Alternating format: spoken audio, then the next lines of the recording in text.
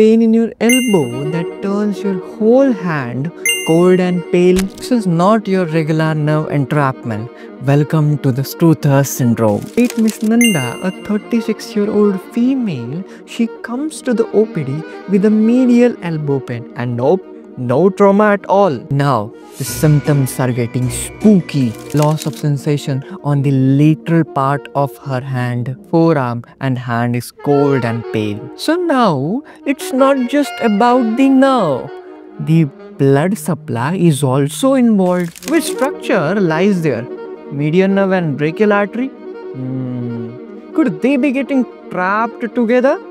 During diagnosis through X-ray, a mysterious bony spur arises and projecting from the medial supracondylar ridge of the humerus. That's the supratrochlear process, a rare anatomical villain.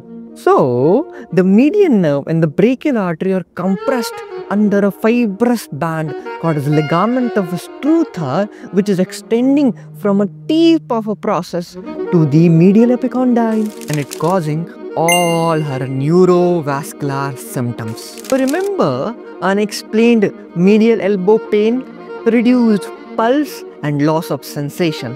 Think the Struthers syndrome, a rare diagnosis that makes you a lesion in the ward.